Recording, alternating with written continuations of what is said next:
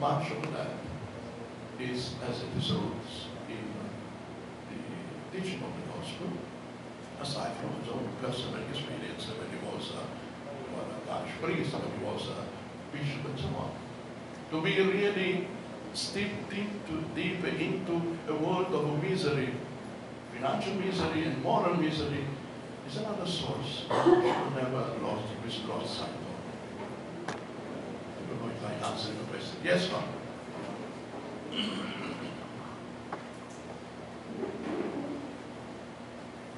Other concerning publishing materials, uh, because you're saying word of life. If we will publish materials for our catechists, taking from various sources, and it will not be sold, no? what copyright law should we know, and how can we avoid being sued by the publishers? Should we just put for internal use our catechists? But it's not being of just formation materials that we will publish, but taken from different sources. This is the problem of the issue of uh, uh, intellectual uh, ownership, intellectual property. There are authors who make a living by writing and publishing. Now, if everybody just copies and the author is aware of it only when it is reproduced here and there, and no one gives him a cent, is First of all, he feels hurt. Second, he may become quite uh, apprehensive next time. What why should I waste my time making researches? And uh, I, I cannot derive any benefit. Or the benefit is not proportional to the effort. So we are stifling creativity and new productions. So I, I suggest that uh, if uh, a catechist coordinator after surveying what is available on a certain topic, oh, this is interesting, why not write to the author? I think that would be the proper, decent, honest approach. We would like to reproduce this passage, is it okay with you? And I think you would feel elated to know that his reflection, his creativity has uh, drawn the attention of somebody who is important, the responsibility, and the good that uh, he can do with his writing is now multiplied. No? So let us follow proper procedure. Out of delicadence and respect for the authors, let us ask their permission. Usually it is given. If they are deceased. Well, if they are deceased, uh, then uh, some, some may have uh, no, because some may have also, if they are not, uh, if they're not priests or nuns, they may have their heirs who may feel entitled, but that's part of the endowment of the heritage, so to speak. Uh, in um, the law governing publication, there is a time no, after which the pro literary production becomes of common domain. I don't know if it is Public. domain, yes. Either it's 50 years or so, I, I do not know. But again, uh, if we should try to contact the possible heirs, and say we would like, uh, are we allowed to do that? And they specify, no? This is for ordinary catechists. And I think most of the people would just be happy with the acknowledgement. And with permission of the copyright owners and so on, it, it can be, it can be done. Actually, it would. Actually, what we are doing in modern life, because we consider it a part of our mission, uh, is to allow catechists of other nations in this area, Korea, Japan, Malaysia, to publish locally something that we have published here. To adapt, translate, we write, no problem, go ahead, do what you can, praise the Lord, just please write based on or with kind permission of, also for our documentation. But that's what we are doing. We publish and we, put, we upload on the internet our uh, weekly uh, leaflet, you collect, and the Pataluba Sanisa, the Tagalog one, available for free, especially abroad. And many Filipino chaplains abroad, in Europe, in the Middle East, they download it they reproduce it locally without giving us a cent. Just say, thanks to Word and Life. We are happy about that. They don't have to pay anything. I know that St. Paul charges them. We don't. We believe, we trust the divine providence. Gives us the means to, in a way, you know, sometimes very generous and in the most uh, unexpected way, that people who come to know about that. Oh, I want to contribute to that. So it is a sharing. It's part of our mission to bring the word of God to as many as possible. Money is important because otherwise if you go bankrupt, our mission is ended. But money should never be the most important thing. What matters is to bring the word of God, the word of the Holy Father and the Bishop to as many as possible. Yes.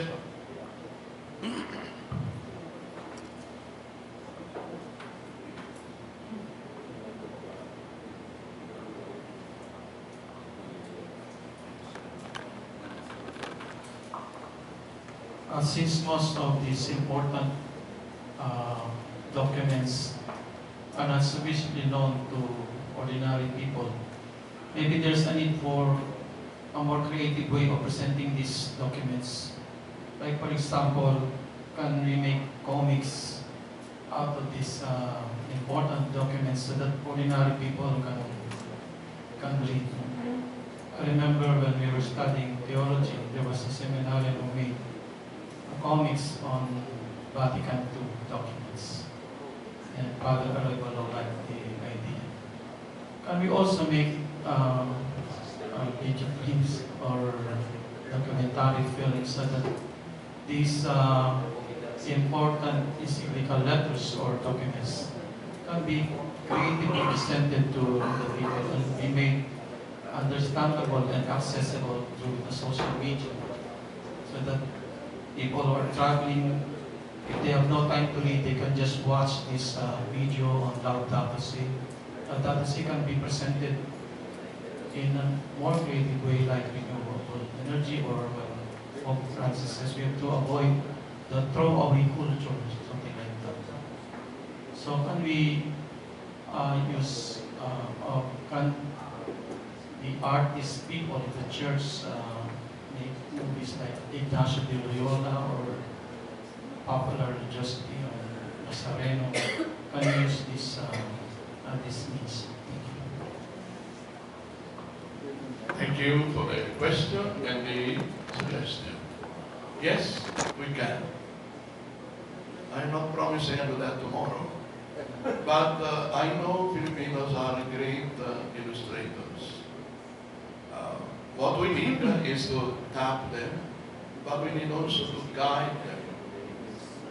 That's the conceptualization. I may be able to conceptualize, but I'm not able to draw. Others are able to draw, but not conceptualize. There is a danger that may emphasize what is marginal and overlook what is essential. So there must be a collaboration. Now, you may have good ideas, by all means, put them in writing, and if you know an artist that can, uh, in a way, visualize your ideas, then we'll be glad to publish them. I admit I cannot do everything. Uh, I really have a lot of things to do. Already to do the work that I was mentioning takes me time, but I have to coordinate the work of 11 periodicals, and that takes time. I'm also a priest, that has to spend the time also hearing confessions, ministering on Sundays and so on. That also takes time.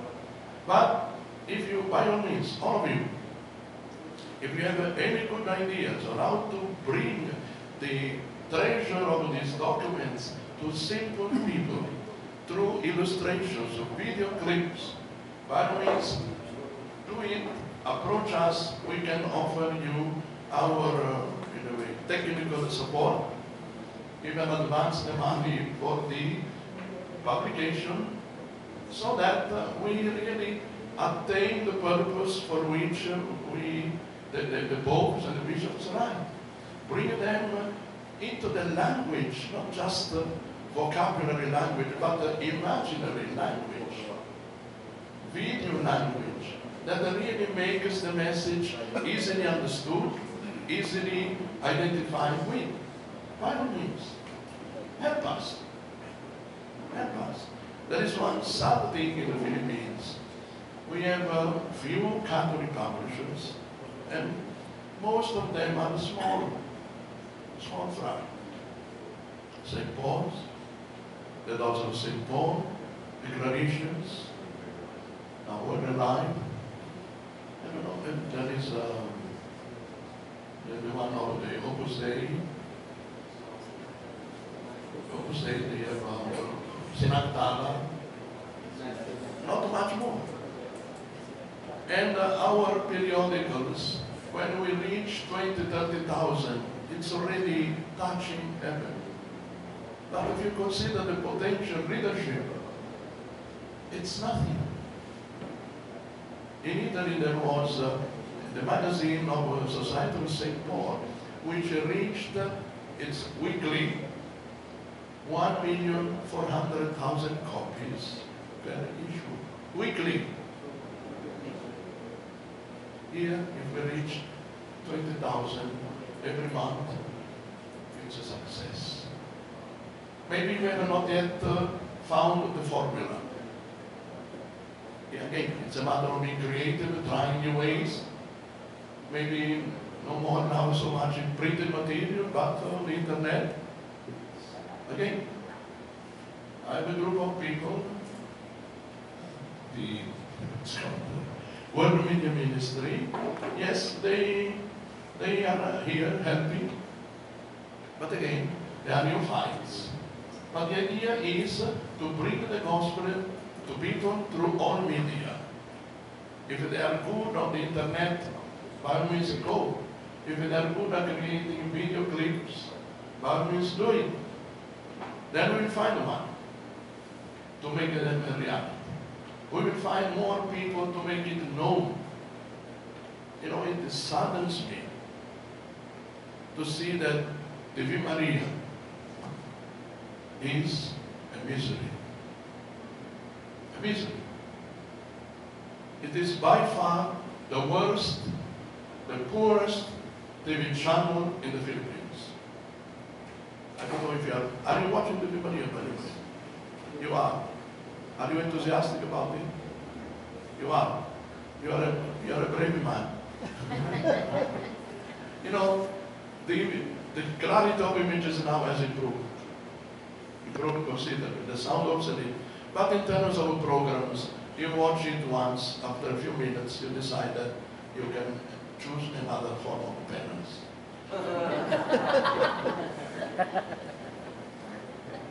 I discussed it with some of those top people. Their answer was, we don't have money.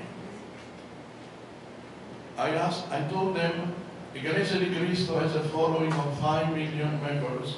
They have three TV channels, professionally run. Where do they find the money? They don't steal. They have been able to mentalize their people to contribute. He, Pastor uh, do you know that he has a TV channel? Yes. Okay, do you watch it? Occasionally, yes. It's a channel that can rival CNN. Sound-wise, image-wise, interesting topics. One man, one man, who started with nothing, and after 30 years, he has brought his, uh, they call uh, okay, video, television, and so on, to be one of the best in the world. How come we Catholics are not able to have one decent TV channel? That's a question. It's a matter of our failure to motivate our people to contribute. We motivate our people to participate in the novena. We, ma- many priests, they are missionaries or chaplains of perpetual pilgrimages. Millions of pesos, if not dollars, are gone that way. We are nurturing a form of devotion, pilgrimages that are not bad in themselves, but much of that money could be used for apostolate.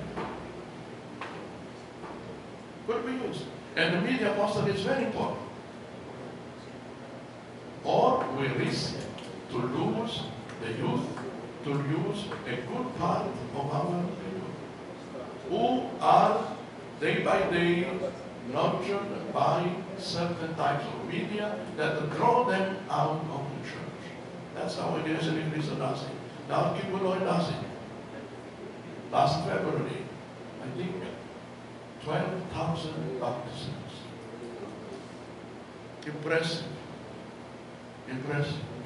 Young people queuing up, undergoing baptism by immersion.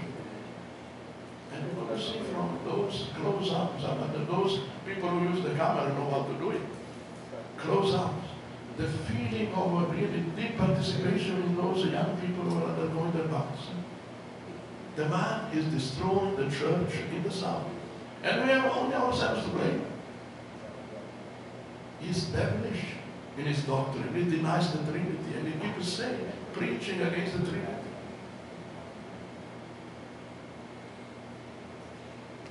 And he does that in television programs that are heard in uh, the United States, even in Canada.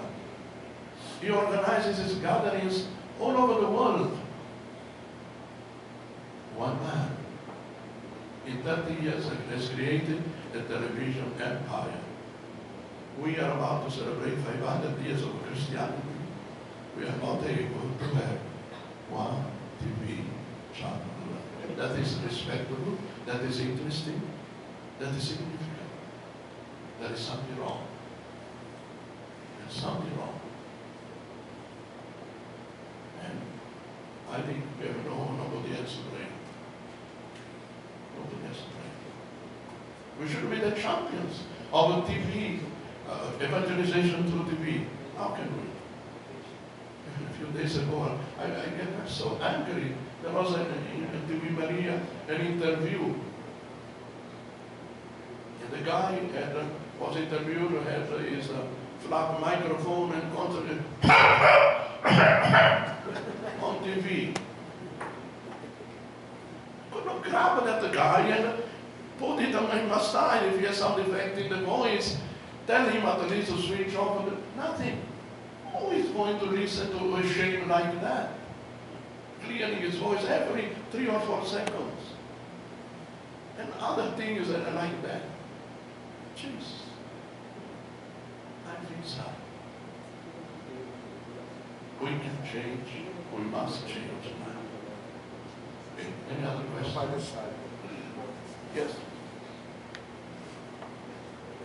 I do appreciate that this topic is tackled in this uh, institute, in the magisterial documents, uh, uh, because um, you have inspired us this morning in your presentation, but especially news, uh, encouraged us to have some notes and to have those reflections that later on it will be ours already out of those sharings.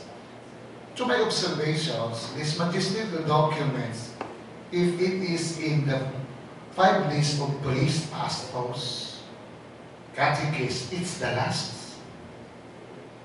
It means to say, we could hardly reach the third in the list, more so the fifth. But my suggestion, um, I also uh, have that um, line that uh, these these documents, which are very enriching in our ministry, should also be included in the formation program of priests, just for example, in retreats, recollections, because this seldom uh, tackled also, because we have so many constraints. So that's just my comments and observation. Thank you so much.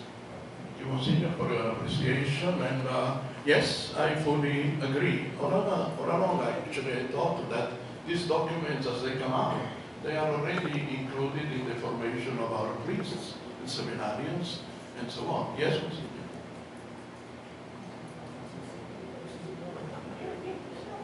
I understand that the premise of this session is about uh, sharing the, the, the richness of these uh, documents. no?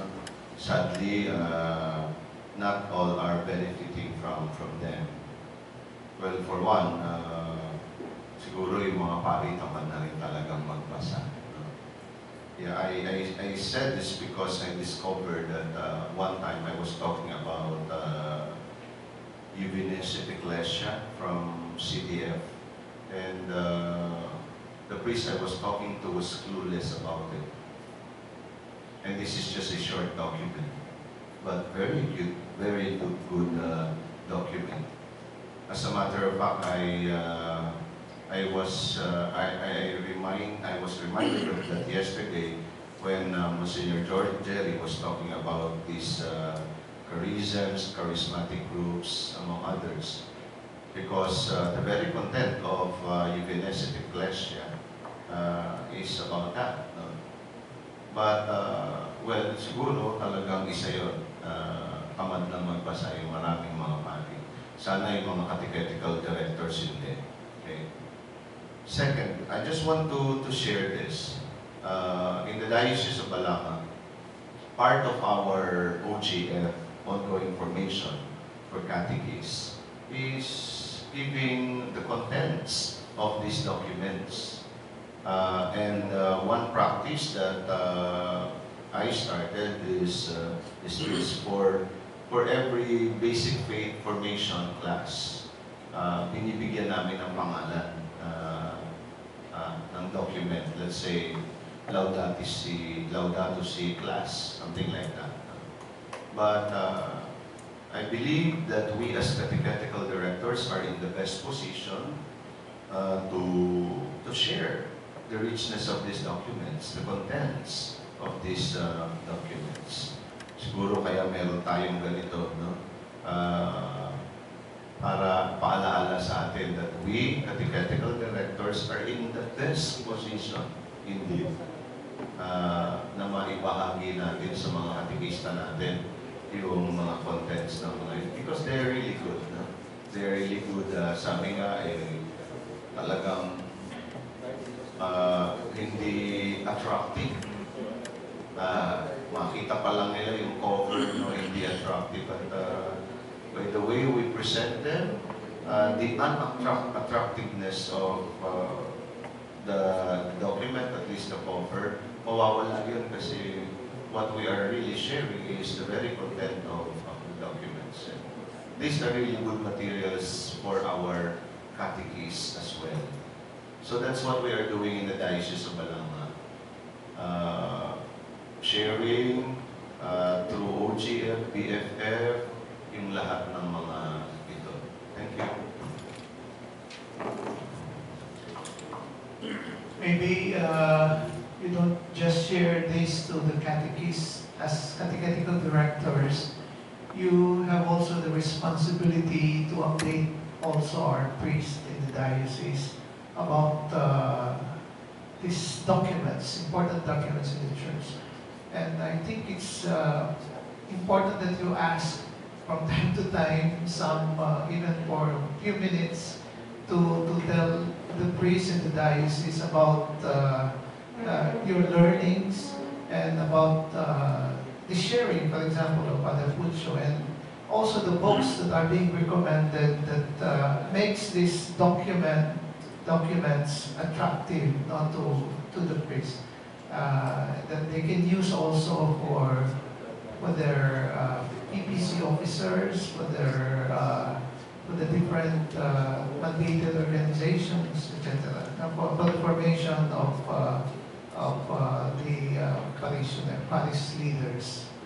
So please share that while, yes, you can share this to, to the catechists, but if you share this to the priest, you'll be able to reach more.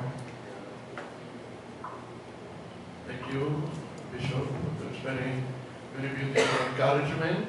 I am still uh, dreaming of the day when every parish office would have a well-equipped uh, library with uh, resource material available for consultation every parish catechetical office. It's very important. Very important indeed. And uh, you see, we can't do everything. We can produce. But we need uh, people who use what we produce. And likewise, uh, or uh, education, we have so many Catholic schools. So many. How many of our Catholic schools have a set of these documents in their libraries for the teachers?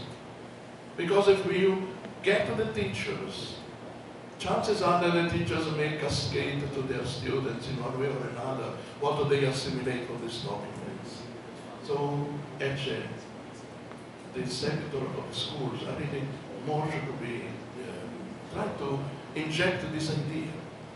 Let us have a room, have a space in our libraries for this specialized literature. We would be helping the publishers because they, if they just a publisher don't sell, they go bankrupt. Or let's say, enough, we publish other things but not these things. So if the, the Catholic publishers don't, who will?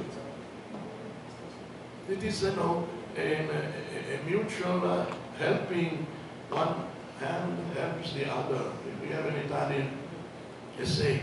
One hand washes the other, the two hands wash the face. If we can visualize that.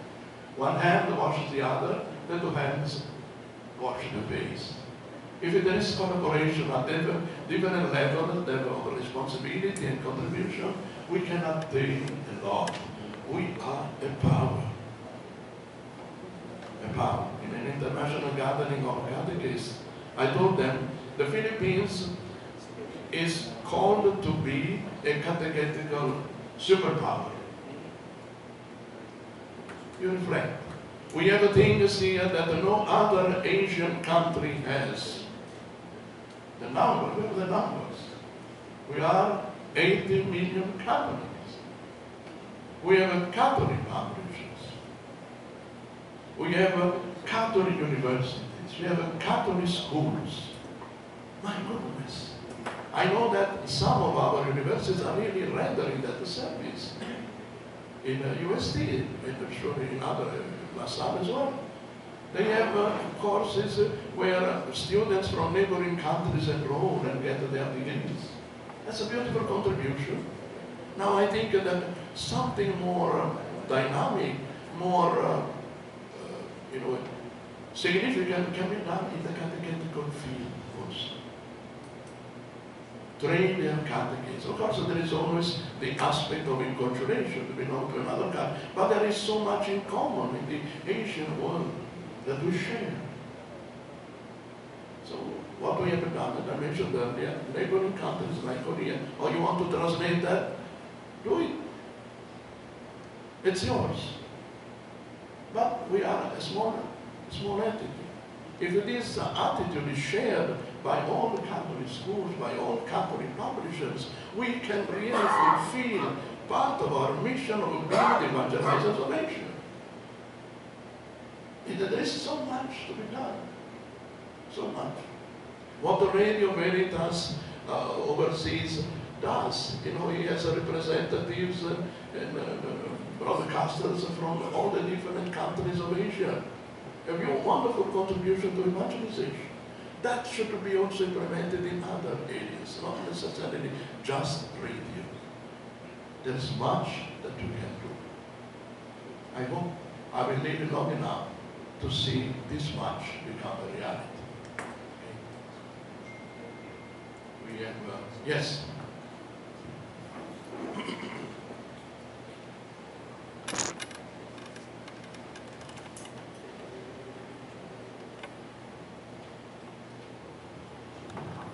morning, everybody. Uh, in trying to encourage our catechists in the Archdiocese of Cebu, I always uh, tell them that catechesis is the science of the perfect.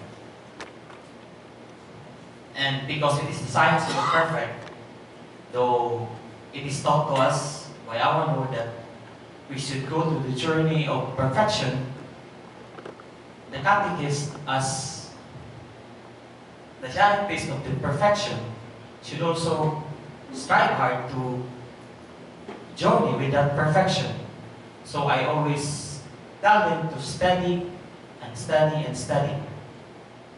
But with the sad state of our catechetical situation, especially in, in the archdiocese, I believe that is also true to its diocese. Because look at our catechist, just anybody who would volunteer to teach catechesis. Uh, I also would always tell them that differentiation between catechesis and theology. When theology tries to reflect and uh, have discoveries, theologians have the rooms for error. But catechists, as teachers, have no room to err in this aspect with regards to the documents and teachings of the church. Because catechists would uh, share, would teach to the people the products of the reflections and discoveries of the theologians. Thus, these are all products, documents are all products of these discoveries and reflections and insights of the theologians. And catechists would just, by those products, deliver this to the people. So I always, as part of my reflection and sharing to them, and so also with us, that uh, and then also with Bishop Bobit's uh, reflection, and Father, that we uh, catechetical directors have this responsibility to share these things more perfectly to them. That is why if they are asked to study, we are more asked and, if I may say so, demanded to study. Pero, wala, tamad. Thank you, Father Villasenor. Uh,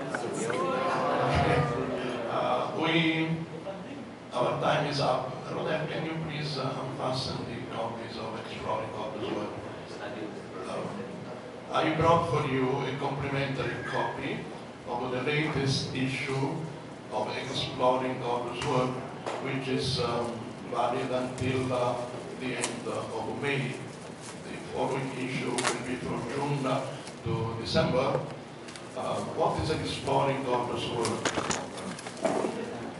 It is an attempt to help people value the Sunday themes and Sunday readings. Can somebody have one image?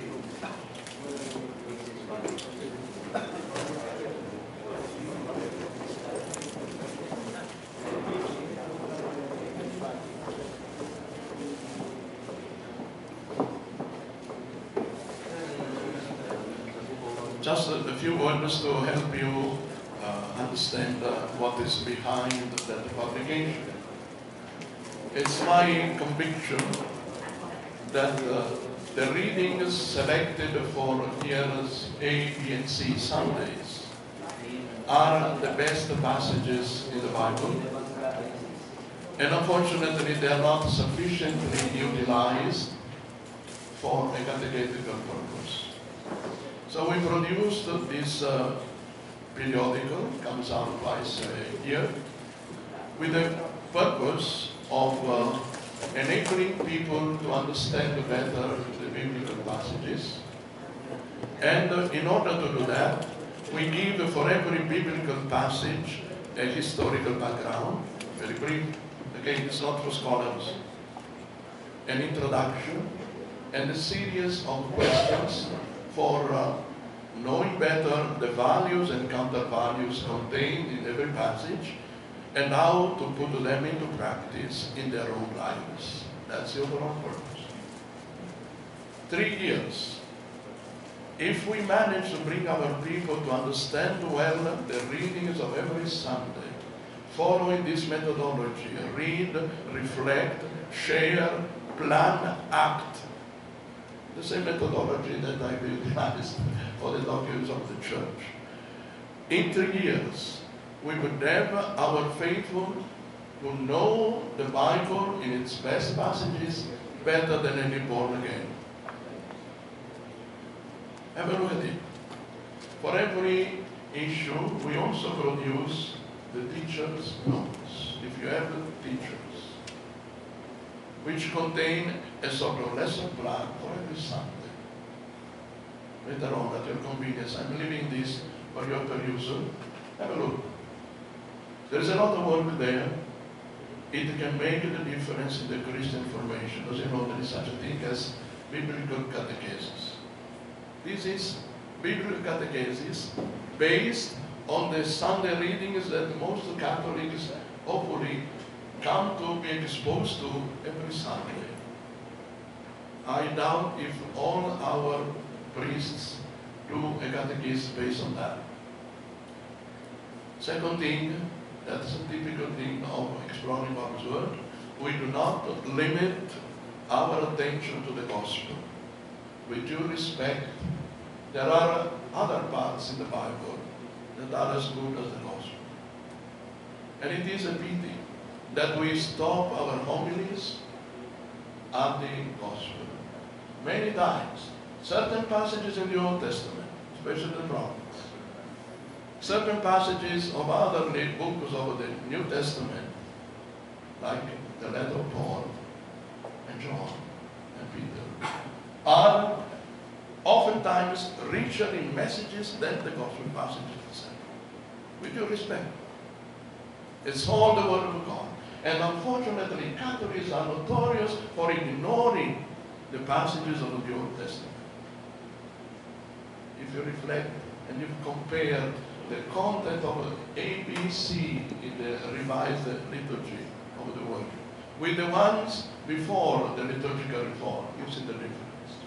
I made a study. Almost nothing of the Old Testament was read on Sundays, except during the Holy Week and something before Christmas.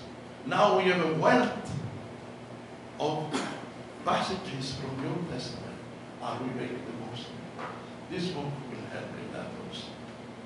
Again, it's not perfect. It is open to your contribution, collaboration. Enjoy this passage. If we have a question to ask, you can write, you can come to see us at and Life. It's all an effort to bring the Word of God as many as we can. Thank you for your attention and the Lord bless you.